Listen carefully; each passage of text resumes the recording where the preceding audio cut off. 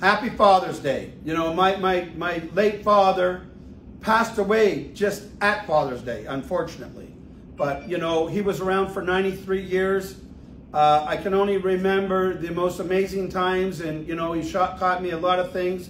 Respect, treat, treat everybody the way you want to be treated. That's why we have the royal treatment. Um, you know, to my late father again, happy Father's Day. To all those late fathers that never made it to this day, you know, we want to wish them all the best and to their families.